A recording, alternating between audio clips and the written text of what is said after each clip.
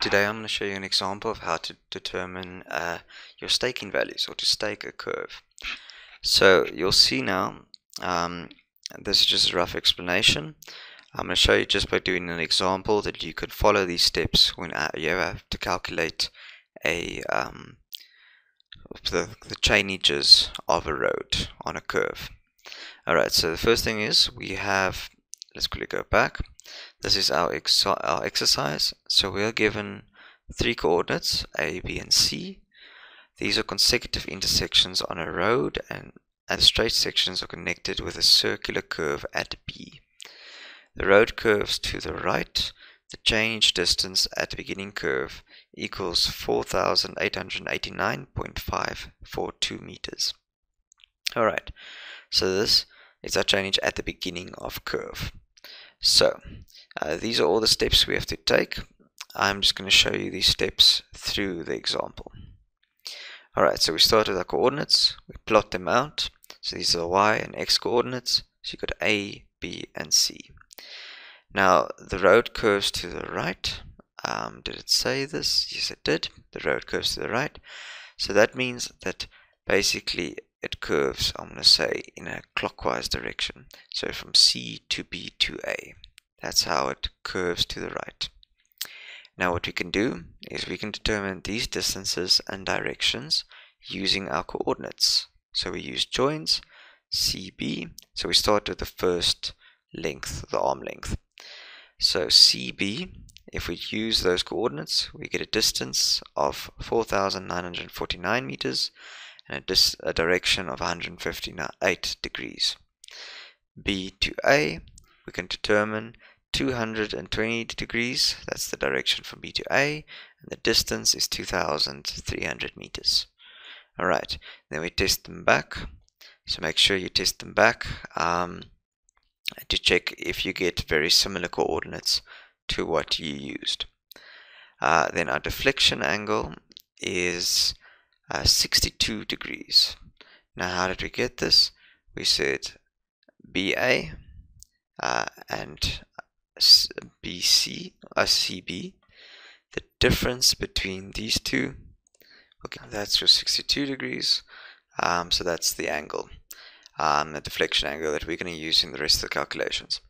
Now we know that C to B is 4,949 meters but our change was given to us as 4,889. So the best way I can show this is if I mark out this point here, and we have a curve here, and the end of curves there. So this is our beginning of curve, and this is our end of curve. Then we know that this is 4,889. So this length TL, so from BC to B, will be our distance calculated minus the change, and we'll get that which is 60. Alright, so now we have a formula. To work out your formula, it is TL, which is your tangent line, equals to your radius tan deflection angle divided by 2. If we rearrange this, we can work out our radius by putting our, in our 60 uh, and our deflection angle of 62 and we'll get a radius of 100 meters. So this means that this circle, the curve, its radius is 100 meters. Then for our length of curve, we have this formula. So radius um, deflection times pi over 180, so change in radians, that's our length of curve. So it's from this point to this point, the length of this curve. Then we have change BC, which was given. To determine change EC, so let's say BC and EC, that's E, that's B. To determine um, basically this change, we can say the change over here plus the length of the curve, I think it shows better here, gives us our EC. So from there, because this is actually our road, this over here, this is just extended lines. So the change we'll obviously go continue down this road at BC, go around the curve, which are the values we're staking, at, and then at the end we have EC. So this plus the length of curve gives us EC. Alright, then we need to determine our length of road. So this will be change EC plus the distance of BA, this over here, minus TL. So it's more the length of this section. So it's this whole section minus the chainage, um, plus the change minus the uh, tangent length. And that gives us a length of 7,310 meters. Okay. Now we have our first subchord. So basically our first point, if we go back here, BC, the first point on our curve, is 4,889. The EC is 4,997. But we are doing changes of 20 meters as requested from the question. So this means that we have to calculate our first chord, which is basically the next chainage, so the next 20 meters, which in this case will be 4,900 minus our chainage. It will basically give us this little section over here. So why we do that is because our 120 mark, let's see, our 4,000 4,880 meters. Chainage will be over there. So the next one will be here, but BC is in between that. So we need to determine how big is this little section over here, which is the first chord. Okay, that's 10 meters because it's not a full 20 meters. The last chord is the same scenario where we have changes of 20 and then the next chain, let's say the last change of 20 will be there and the next one will be there. EC is in the middle. So in this case, it will be change of EC minus the previous one. So change of EC minus this one to get this little section over here.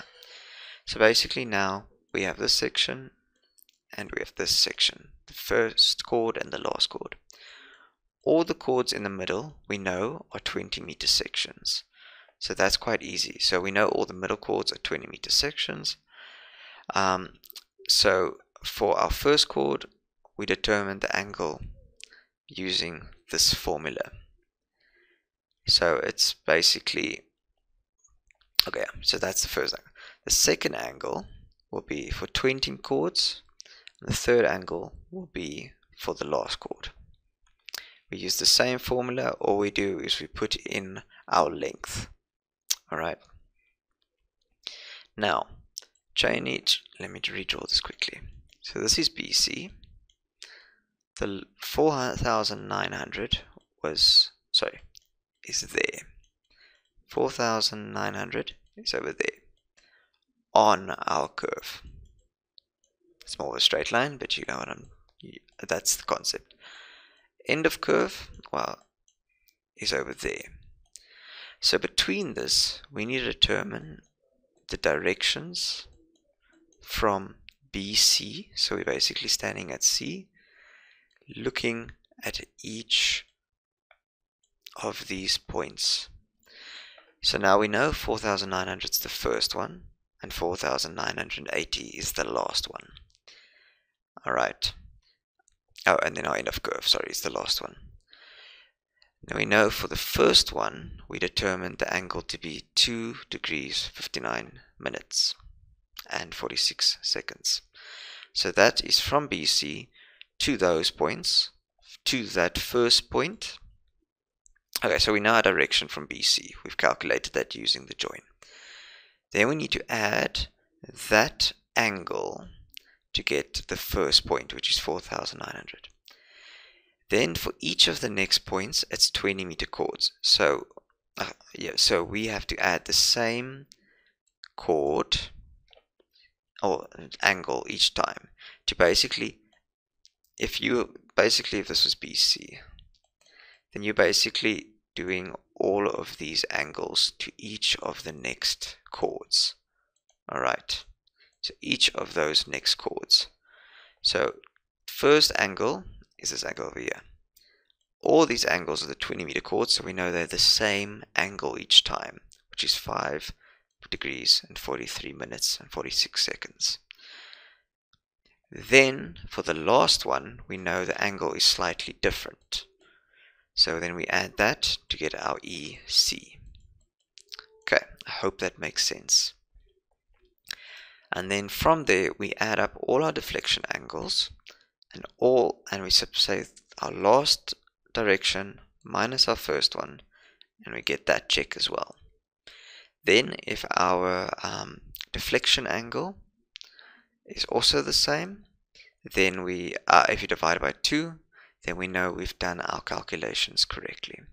So this basically staking out the different angles for your different points on your curve, hence staking curve.